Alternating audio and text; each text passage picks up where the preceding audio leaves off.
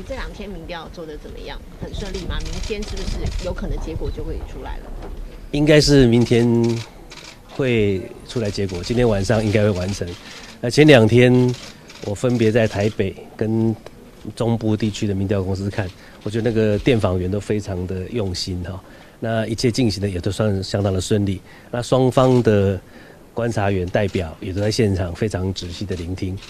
啊，不过我们还是有听到少数有一些在访问当中的一些或许误会或者传言，或者是沟通不够清楚，但是我们都非常的重视。这针对一些比较具体的个案，在明天整个资料开封之后，我们会详细就这个个案来进行这个查验。啊，如果有需要，我们会全面扩大的来查验。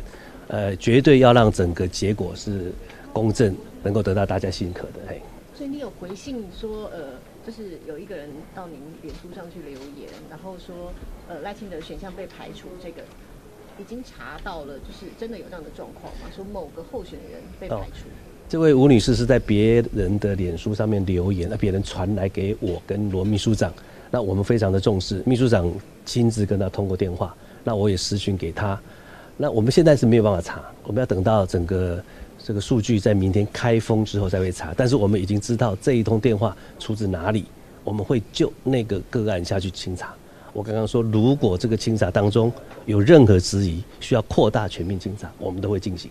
主席是不是有在脸书上面喊话，希望党内不要互相攻击？在最后一天，当然希望能够大家尽量的冷静理性啊。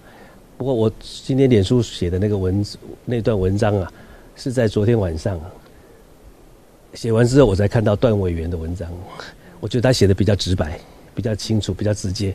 我在考虑我要不要写，所以我后来我补了几句话，就是调阿卡，不要去把你这个支持的那个候选人呐，他的坚持给他破坏掉了。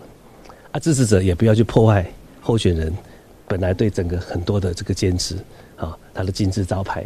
我讲这个很重要。呃，热心的朋友很多。但不要过度的哈表达自己呃任很多不当的意见，这样会把你这个不当的行为会算到参选人的身上去，这非常非常的不值得，非常非常的不值得。两位参选人到现在为止，我想大家都应该清楚，他们维持的相当好的一个风度跟高度。那支持者或是主要的调啊咖，尤其在言行上要注意，越是重要的人，越是大的调啊咖，越要注意这样的行为。